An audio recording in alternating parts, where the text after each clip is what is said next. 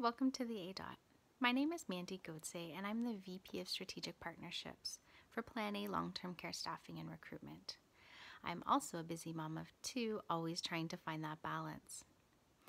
I began my journey with Plan A in 2014, and what a phenomenal journey it has been. For those of you who are unaware, Plan A brings a staffing strategy focused monomaniacally on the long term care sector. All of our training, education, and recruitment processes are all built with service of excellence and the long term care sector in mind. Our brand started in Sudbury, Ontario, and quickly grew across the north. We're now reaching into the southern parts of the province, realizing that the staffing crisis in long term care is not just in our backyard.